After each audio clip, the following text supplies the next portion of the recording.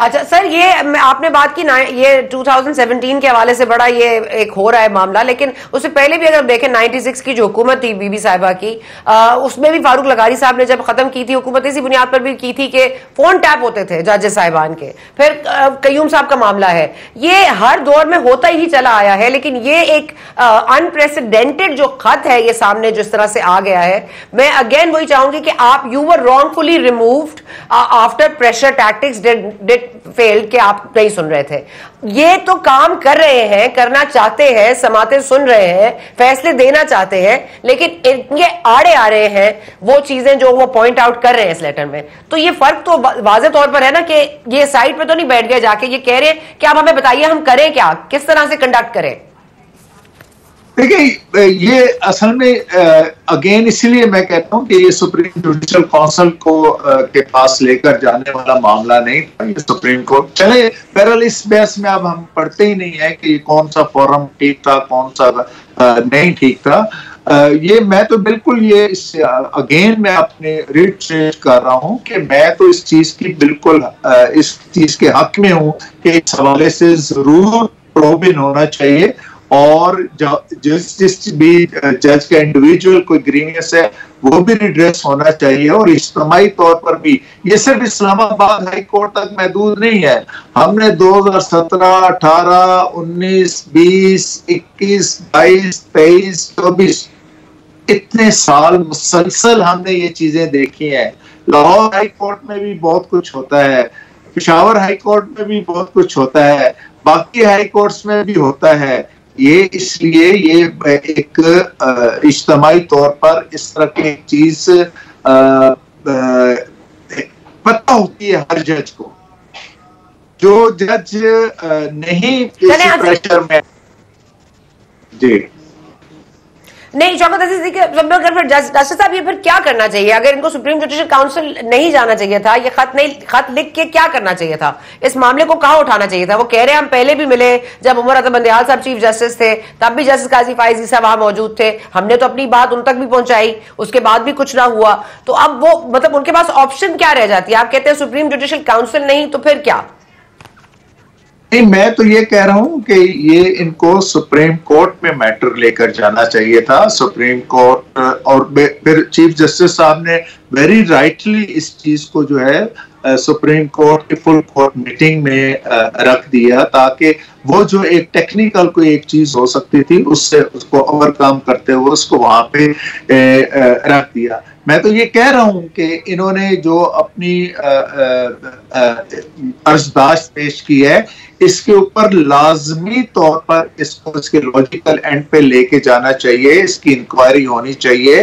इन जज साहबान के बयान कलमबंद होने चाहिए, इनके पास जो एविडेंस है, वो इनसे वसूल की जानी चाहिए और उसके बाद जो भी अथॉरिटी इस सारे मामले की इंक्वायरी कर रही है उस वो अथॉरिटी अपनी फाइंडिंग थे और जो कल्परेट्स हैं, उनको उनके जो है उनको इन अकॉर्डेंस विद लॉ जो है, उनके साथ मामला करना चाहिए। मैं तो इस बात के हक में हूँ।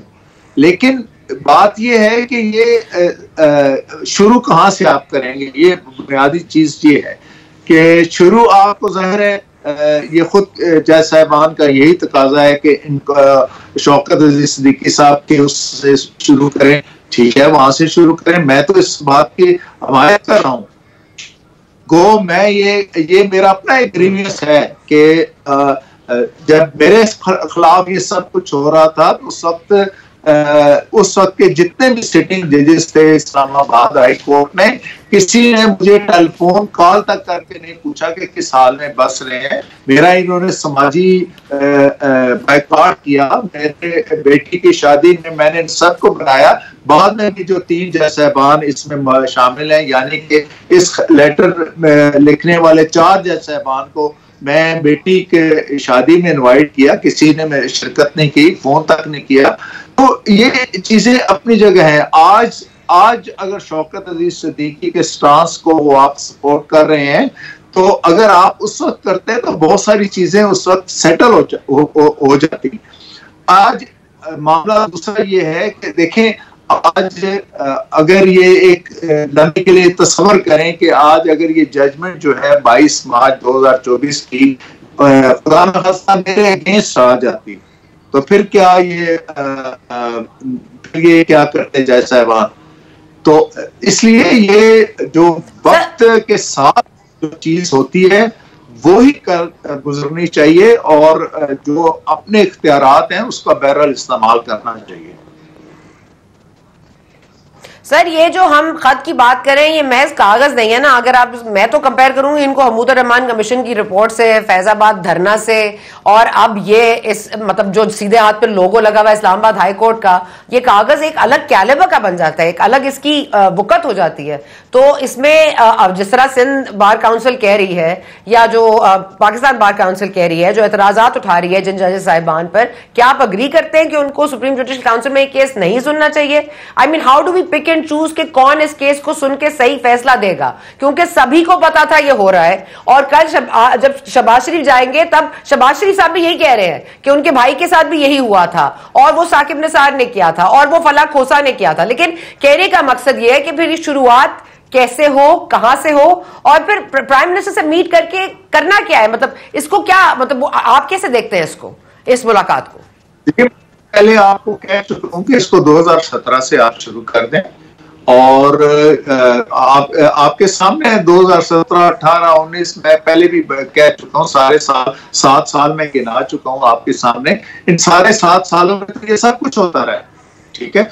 अब एक ये भी मुझे मेरे लिए ये एक कंसर्न जो है वो बहरहाल एक वो है कि somehow are the other मुख्तलिफ़ कॉर्नर से ये एक बहरल ज़रूर कोशिश की जा रही है कि काजी फायज ईसा साहब के हवाले से कि उनको मुख्तलिफ़ टेक्टिक्स के ज़रिए हिलो बहानों के ज़रिए इशारों कनायों में और, कभी बाज अंदाज में ये कोशिश की जा रही है कि उनको उनकी इंटेग्रिटी को चैलेंज किया जाए और उनको समाओ मजबूर किया जाए कि वो एक मखसूस नुक़ नज़र के लोगों के केसेस को ना सुने जो कि हमारा एक सेटल लॉ है कि किसी भी जज ने किसी केस से रिक्यूज करना है या नहीं करना ये उस जज ने फैसला करना होता है।